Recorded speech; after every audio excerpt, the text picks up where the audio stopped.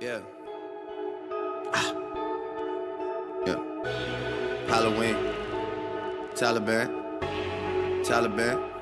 I'm gonna shoot you. Yeah. Jumpin', jumpin', jumpin', them boys up to something.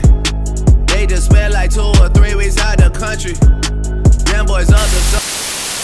Come to the lights, so everybody grab your shades, cause your boy that bright. Let me holler at y'all about a few things quick. I'm as humble as they come, but my shoe game lit. I ain't make the All Stars, but I'm flu game sick. Last time they count me out, what I do game six. You know the answer, but keep it to yourself. I really love this game, man, it's deeper than the wealth. I was taught to play for keeps, but never keep it to yourself. Real record.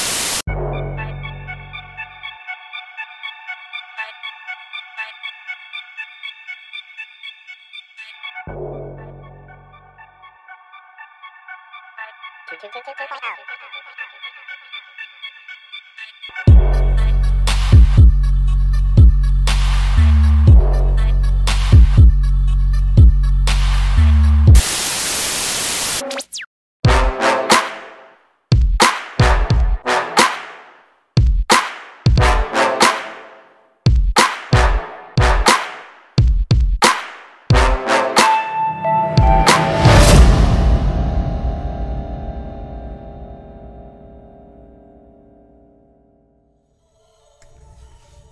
Welcome back to the League studio.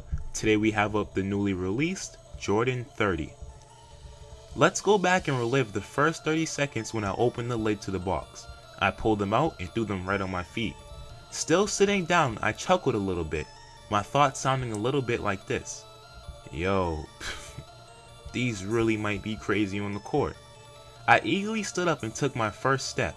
I felt a little discomfort slash stiffness almost in the toe box area as I leaned forward, but that didn't dampen my mood as I knew I could break that in fast. I proceeded to jump and I felt the same technology in the midsole implemented in the 29. No doubt did I enjoy that setup, but I couldn't help but to get a sense that Nike could have done just a little bit more to really push the envelope and give me an upgrade that I know they're capable of. Aside from that department, we did get some tweaks to the outsole. You got the same unlock zone but with a different traction pattern that performed excellently on the court. To add to that, they also placed rubber grips on the insole to keep your foot locked down, along with a comforting tongue and half inner sleeve. In regards to traction, this is definitely one of the best shoes I played in to date. Jordan also made a few changes to the upper of the shoe.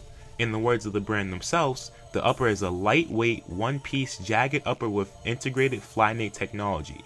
It does feel different to the touch, but you still get that same great snug fit in the one-to-one transition as it moves with your foot. They then place again in their own words, lenticular lens technology in the toe cap of the sneaker. This is a subtle but big change. This tweak offers a lot more durability to the sneaker than the previous model originally had. Ultimately, Jordan Brand did continue its streak of dominance on the performance end of basketball shoes with the Jordan 30. Other than that, not much more else to say. Be sure to like, comment, subscribe, and follow me on IG and Twitter at Sneaker League and at is that underscore Josh to keep an inside look of what's going on behind the scenes. TSL, peace.